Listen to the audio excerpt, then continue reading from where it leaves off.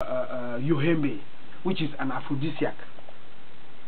Okay. As it enhances the the the the the the the, the, the, the, the stimulation of the erectile walls.